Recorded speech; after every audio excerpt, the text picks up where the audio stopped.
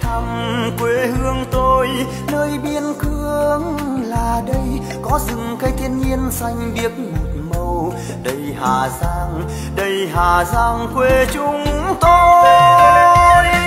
Khổ vùng cao về xuôi xây đời mới, thắm tình giữa miền xuôi với miền ngược. Có ai về khơi thêm nguồn hàng, mời lên thăm đây hà giang.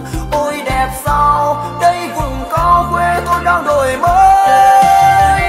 này quả vùng cao đến tới miền xuôi, để cho quê tôi cho những anh hàn hò. Hà giang đến yêu ơi, hà giáng đến